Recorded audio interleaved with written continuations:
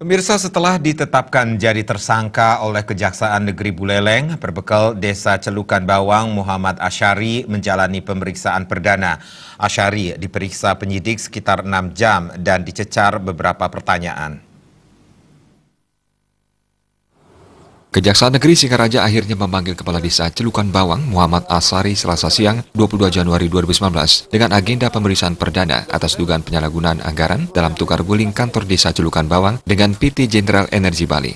Muhammad Asari datang sekitar pukul 11 Wita didampingi kuasa hukumnya Ibu Tuarta.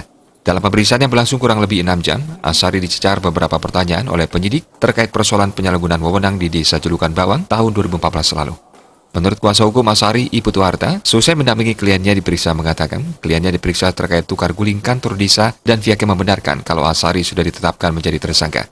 Pihaknya juga akan terus membantu menjembatani kliennya agar kooperatif dengan kejaksaan setiap dipanggil.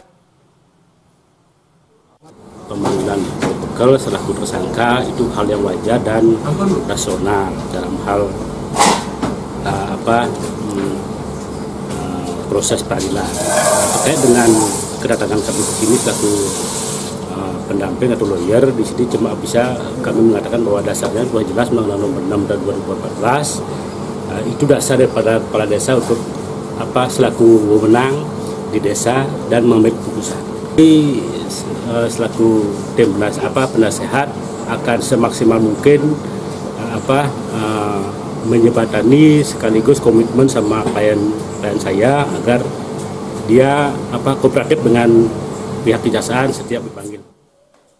Di lain sisi, menurut Kasih Pitsus Kejari Buleleng, Wayan Genip terlihat tidak berani memberikan keterangan resmi seputaran pemeriksaan Asari. Pihaknya hanya mengakui kalau telah melakukan pemeriksaan terhadap Asari terkait masalah dugaan penyalahgunaan anggaran dalam pelaksanaan tukar guling kantor desa Celukan Bawang. Apa namanya pemanggilan tersangka hari ini adalah terkait dengan setelah tetapkan yang bersangkutan sebagai tersangka kemarin. Jadi untuk melanjut itulah kita panggil hari ini. Hmm. Kira-kira kapan lagi dipanggil Pak? Uh, kita masih masih menunggu perkembangan. Hmm.